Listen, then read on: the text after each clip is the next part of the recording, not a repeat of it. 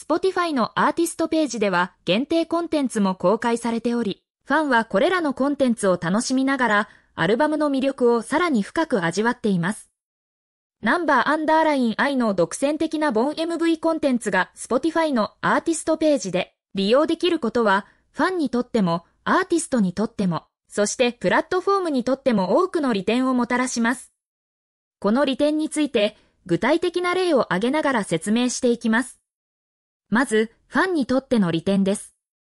ファンは一つのプラットフォーム上でナンバーアンダーライン I の音楽と映像コンテンツを楽しむことができます。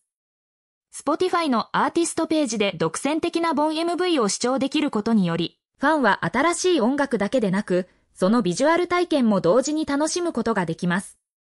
例えば、ボン MV には楽曲の世界観を視覚的に表現した映像が含まれており、ファンはその映像を通じて楽曲のメッセージをより深く理解することができます。また、これによりファンはアーティストのクリエイティブなビジョンをより身近に感じることができ、彼らとの絆を深めることができます。次に、アーティストにとっての利点です。Spotify のような大規模な音楽配信プラットフォームで独占的なコンテンツを提供することで、ナンバーアンダーライン I はより多くのリスナーにリーチすることができます。Spotify は世界中で数百万のユーザーが利用しているため、ボン MV コンテンツが多くの新しいリスナーの目に触れる機会が増えます。これにより、新たなファン層を獲得し、彼らの音楽の認知度を高めることができます。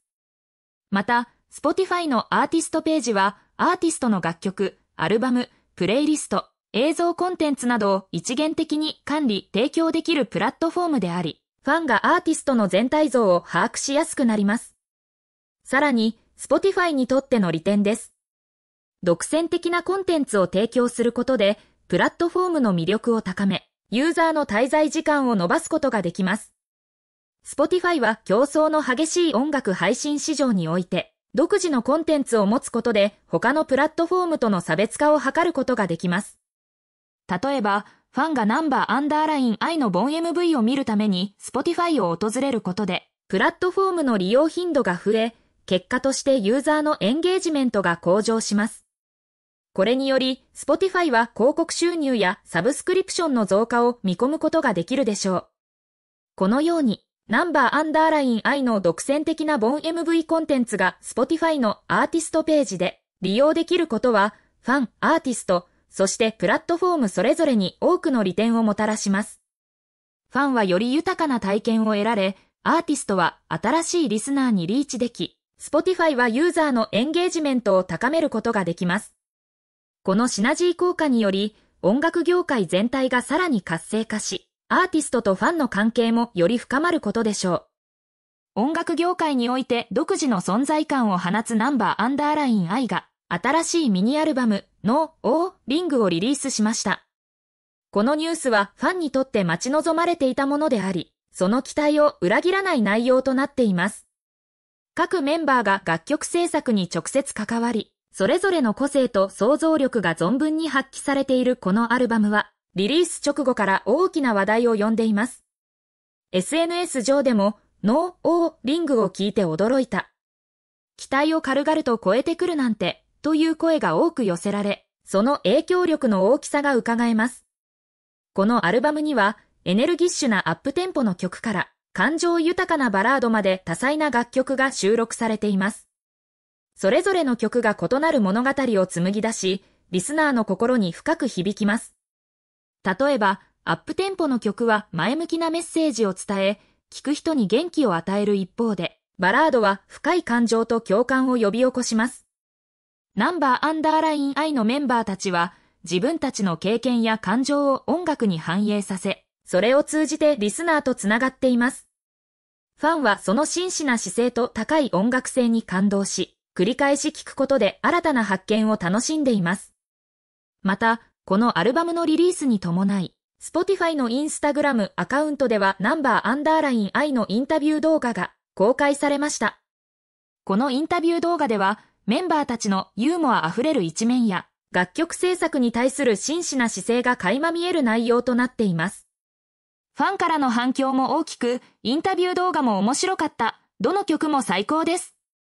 というコメントが寄せられています。さらに、Spotify のアーティストページでは限定コンテンツも公開されており、ファンはこれらのコンテンツを楽しみながら、アルバムの魅力をさらに深く味わっています。ナンバーアンダーライン愛の音楽は、ただのエンターテインメントに止まらず、深い感情とメッセージを伝えるものです。彼らの楽曲は、多くの人々の心に響き、その人生に影響を与えてきました。 No.O -ring-も例外ではなく、リリース直後から多くのファンがその魅力に魅了されています。ファンの一人は、このアルバムを聴いて驚いた。期待を軽々と超えてくるなんて、とコメントしています。このような反応は、彼らの音楽がいかに強い影響力を持っているかを物語っています。さらに、ナンバーアンダーライン愛の音楽はただ楽しいだけでなく、社会的なメッセージも含まれています。彼らは歌詞を通じて、現代社会の問題や個人の葛藤について語りかけます。例えば、環境問題や社会的不公正についてのメッセージが込められた曲もあり、リスナーに考えるきっかけを提供しています。このように、彼らの音楽はエンターテインメントの枠を超え、社会的な意義を持つものとなっています。また、ナンバーアンダーライン愛のメンバーたちは、ファンとのコミュニケーションを大切にしています。SNS を通じてファンと直接やり取りすることが多く、その絆は非常に強いです。例えば、リリース後に行われた Q&A セッションでは、ファンからの質問に真摯に答える姿が見られ、多くのファンがその姿に感動しています。明日の質問回答編も楽しみにしています。というコメントが多く寄せられ、ファン同士の交流も活発です。彼らの音楽だけでなく、そのパーソナリティやファンとのコミュニケーションも彼らの魅力の一つです。さらに、ナンバーアンダーライン愛の音楽は、リスナーにとって癒しや励ましとなる存在でもあります。例えば、あるファンは、この曲を聴いて、辛い時期を乗り越えることができた、とコメントしています。このような反応は、彼らの音楽がリスナーにとってどれほど大きな支えとなっているかを示しています。ナンバーアンダーライン愛の楽曲は、聴く人の心に寄り添い、その感情を共感し、癒す力を持っています。また、最近のライブパフォーマンスでも、ナンバーアンダーライン愛の魅力は存分に発揮されています。ライブでは、彼らのエネルギッシュなパフォーマンスと、観客との一体感が感じられます。観客は一緒に歌い、踊り、彼らの音楽を全身で楽しんでいます。